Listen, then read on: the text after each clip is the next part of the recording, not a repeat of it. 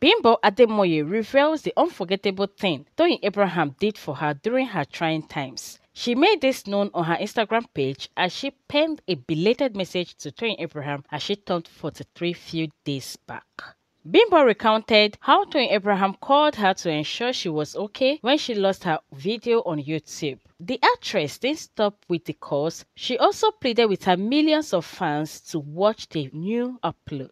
For her, that act is unforgettable as it will always linger in her heart. She wrote, I remember when I lost my video on YouTube. You put a call through to ensure I was okay. Took it upon yourself to plead with your people to watch the new upload. That act still lingers in my heart. I am forever grateful. Happy belated birthday, ma. Toyin took to the comment section to appreciate her as she noted how Bimbo is always supporting her too. Bimbo Omola, what about the way you supported me too? Thank you so much, my love. Um, one good turn deserves another. That's it, guys. Please like this video, subscribe, and turn on the notification button so you know when we post another interesting video. Bye.